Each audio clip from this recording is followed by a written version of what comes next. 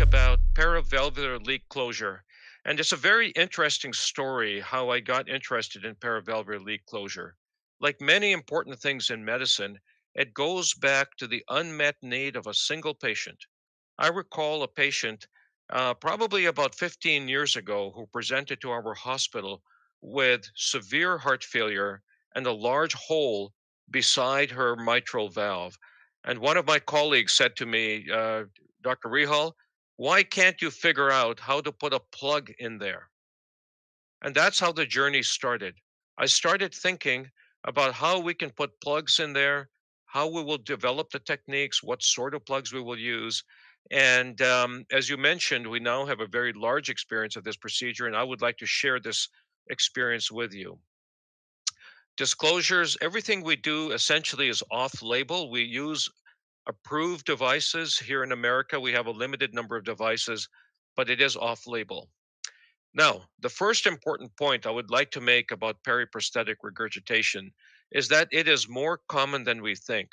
Up to 17% of valves in some series actually have evidence of PVL or paravalvular regurgitation.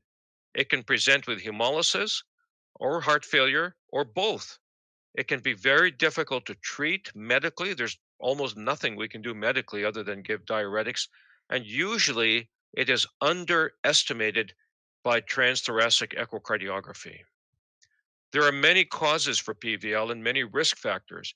I've made a list here of some of the more common ones that I've observed, including annular calcification, tissue friability, endocarditis, any chronic inflammatory disorder, the recent uh, institution of corticosteroid therapy, I have seen valves being just fine for 10 years, and then the patient gets prescribed corticosteroids, and all of a sudden the sutures start to pull out. And finally, implantation technique. We know that pledgeted sutures, when the surgeons use them, are associated with less PVL. And so all of these things can conspire to cause paravalvular regurgitation. And we know it can affect any type of prosthetic valve in any position, like this single disc um, uh, tilting valve. Now, anatomically, there are favorable and unfavorable varieties. the top panel shows a relatively discrete PVL around this mitral bioprosthesis, which we can quickly plug, but the lower panel shows a frank dehiscence of the valve which is not good for percutaneous closure and is likely better treated surgically. I hope the three dimensional TEE is coming through and now on the transmission, but the real time 3D TEE has revolutionized our practice because it gives us complete spatial orientation around the valve and allows us to identify where the PVL is and the anatomy of the PVL. So as you can see in the top right quadrant, there's a gap between the sewing ring and the atrial wall, indicative of where the sewing ring is. Now, one of the most important things that we learned early was how to visualize these and how to communicate between our echocardiography colleagues, who are our eyes, and the interventionalists. So, this is the view that our echocardiography colleagues typically will use in the operating room. This is the so called surgeon's view. Looking from above, looking down at the mitral valve, you see the mitral valve is here, tricuspid valve to the right.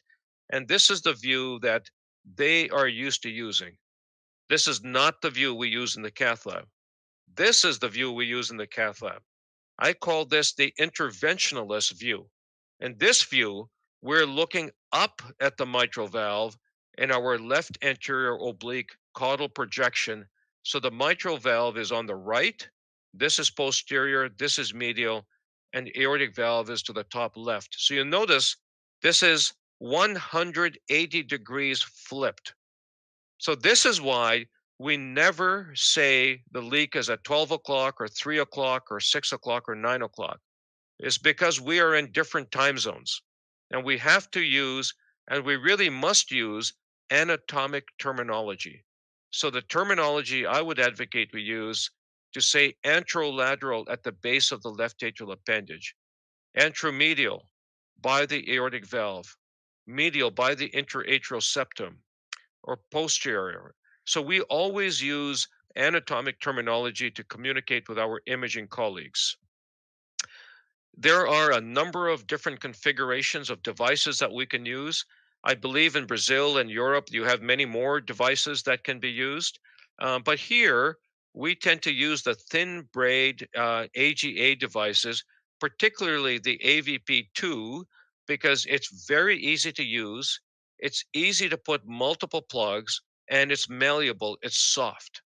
The, the we have the AVP4 as well, but we don't use it very much other than for post TAVR paravalvular leak. And the AVP3 will be a nice addition, and it's currently in clinical trials. We also have access to these, that the ASD occluders, the muscular VSD occluders, and the ductal occluders. But these are thicker braid. These are stiffer devices and residual high velocity jets through the device can cause hemolysis. In our experience, it has been 15 to 20%, which is why we tend to favor the thin braid devices. There are now newer devices like the Occlutech device that are coming and hopefully will be even better for paravalvular leak closure.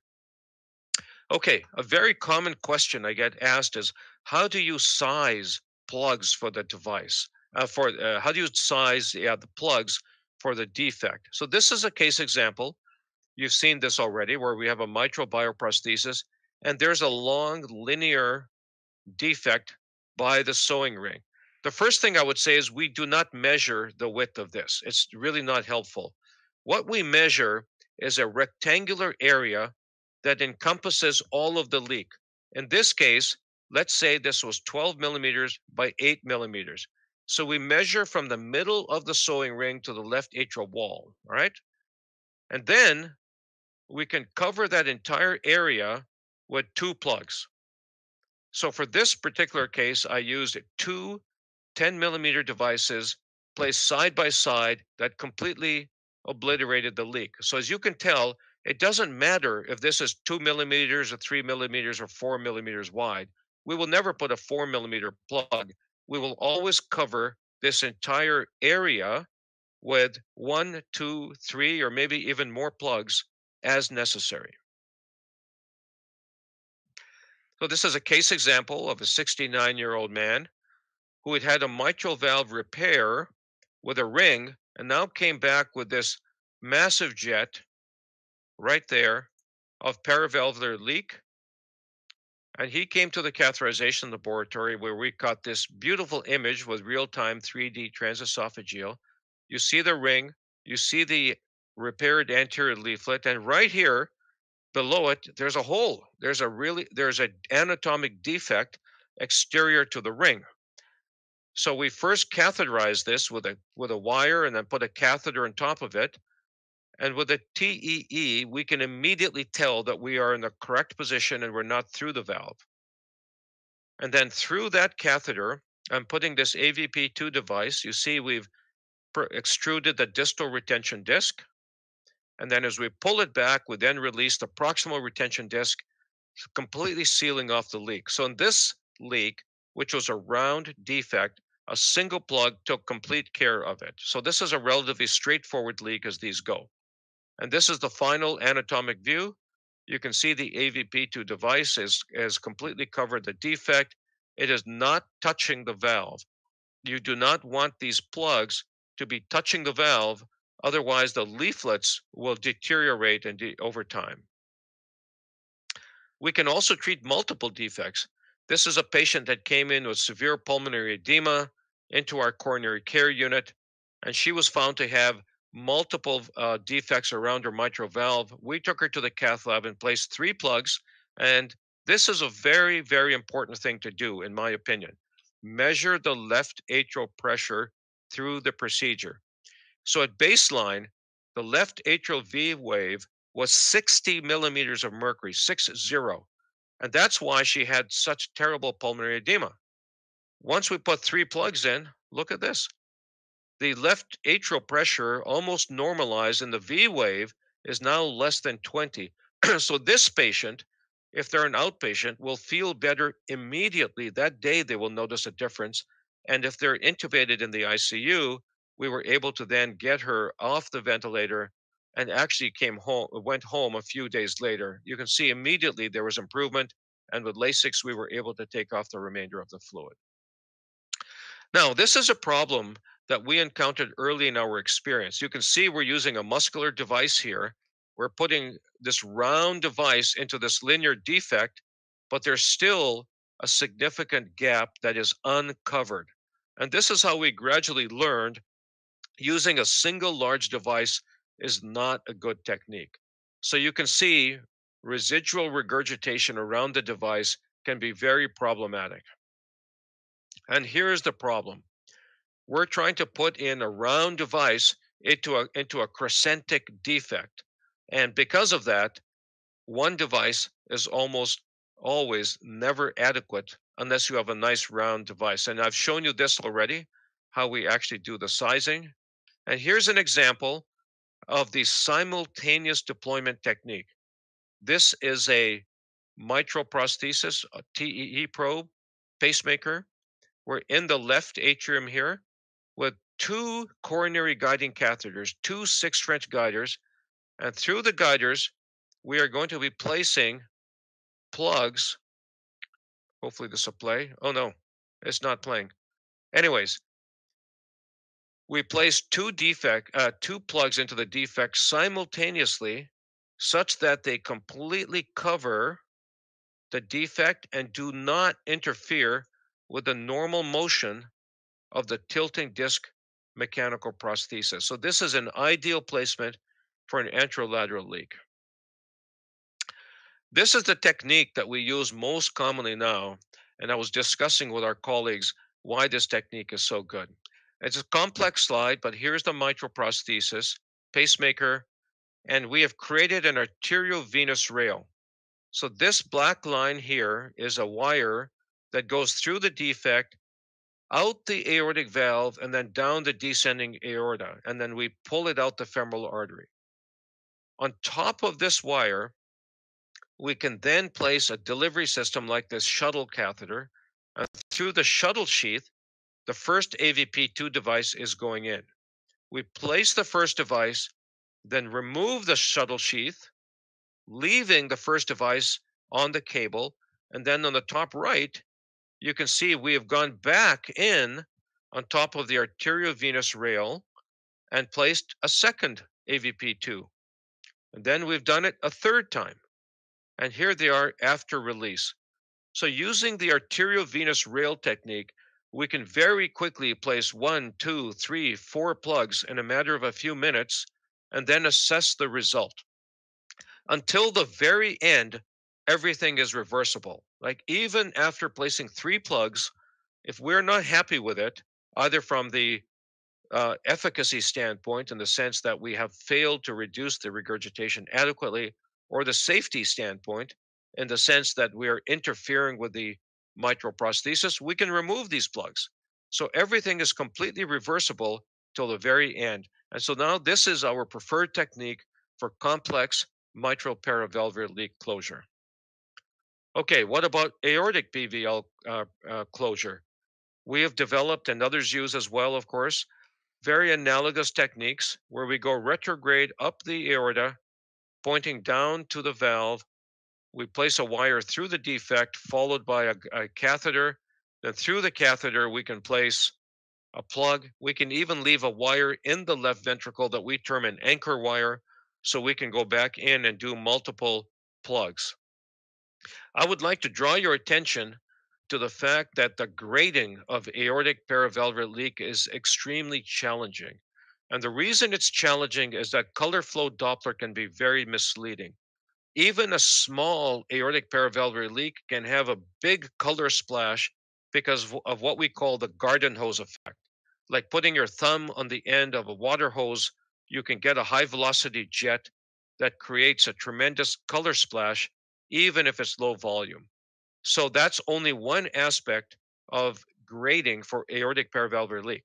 We also look at hemodynamics like this, the Sinning index developed by Dr. Sinning, where one looks at the fall and decay of the diastolic blood pressure and tries to relate it to the left ventricular EDP. The lower the diastolic blood pressure and the higher the LV EDP, the worse the aortic regurgitation, of course.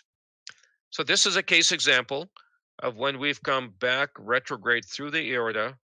We've cannulated the defect. It's beside this mechanical prosthesis, and there's a mitral mechanical prosthesis.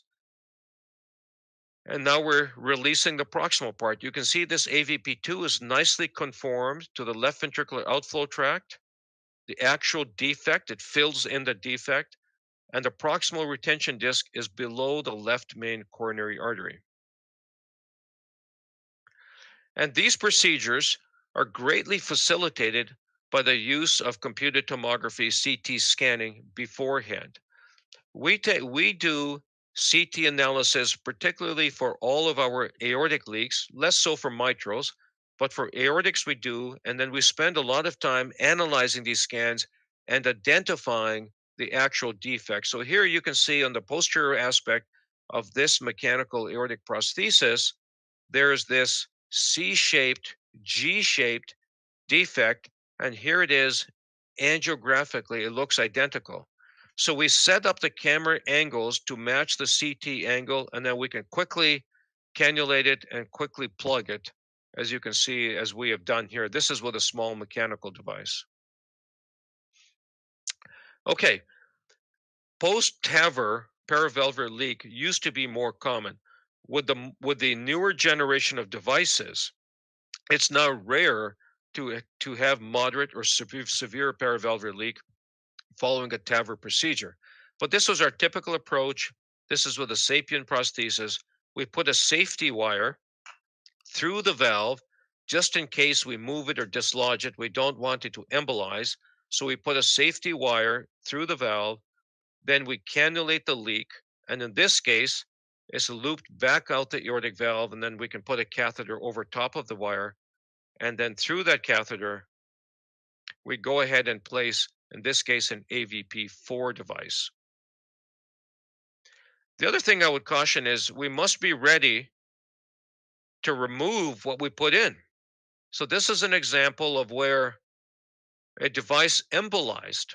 The good news is they typically do not embolize to the carotid arteries and almost always get lodged in the common iliac right at the site of the aortic bifurcation. So structural operators who are doing these procedures must be ready to be able to remove these devices like we did here, goes right back in. So using snares to create AV rails or to remove plugs that have embolized is very important. Now, how do these patients do? We have, have published a large number of papers on this procedure looking at outcomes, and I would like to make some important points. The first thing is, and this is from our practice by my colleague, Dr. Al Khouli, that optimizing the procedure by reducing the residual leak to almost zero is the goal. The lower you can make the residual leak, the better your patient will do. So in this example, as you can see, out to 100 days or a few years, four years, if patients had only mild residual paravalvular leak, they actually did very well in terms of rehospitalizations or repeat procedures. But if they had moderate, then of course, they'll need many more procedures, including redo surgery. As I've already mentioned, measuring the left atrial pressure is an important hemodynamic correlate of success. So we really feel that if the final left atrial pressure, okay, can be reduced to less than 30% of the mean blood pressure, these patients will do quite well from a survival standpoint and from a rehospitalization standpoint. But if their left atrial pressure remains elevated, they will be back. And sometimes the pressure will remain elevated if the left atrium is stiff and non-compliant, and then we can't do much about that. So just to reiterate, our goal is to place the plugs precisely in position and to have no regurgitation if possible.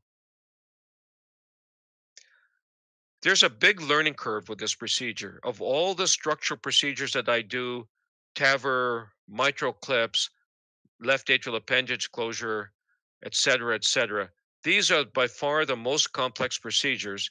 And as you can see, the procedural time gradually fell from almost three hours in the first 50 cases. And now we can reliably close even the most complex mitral paravalvular leak in about an hour. So there's an important learning curve. Similarly, the rate of adverse cardiac events has fallen significantly with experience. It's now down about 4%. And most of those adverse events are actually bleeding events. And so we have to be very careful with anticoagulation management. So I tell my patients that now the chance of having a successful and uncomplicated procedure in experienced hands is about 90%. So we think that's a reasonable number for such a complex structural heart procedure. There have been many outcome data. This is a meta analysis uh, produced by my friends and colleagues in Canada. And what they showed is that with successful paravalvular leak closure, cardiac mortality is reduced, functional class is improved, and the need for repeat surgery goes down markedly. So these procedures do work and to provide significant benefit to a very high risk and a very complex cohort of patients. So, what can we conclude? Number one, paravalvular leak is relatively common and underdiagnosed. Two, endovascular or percutaneous closure is feasible, but there's a significant learning curve for new operators. Three, Residual regurgitation is the key determinant of outcome, so procedural optimization is very important. Four, paravalvular leak closure improves symptoms, hemolysis, lowers the need for subsequent surgery, and is associated with lower mortality. Very important patient benefits.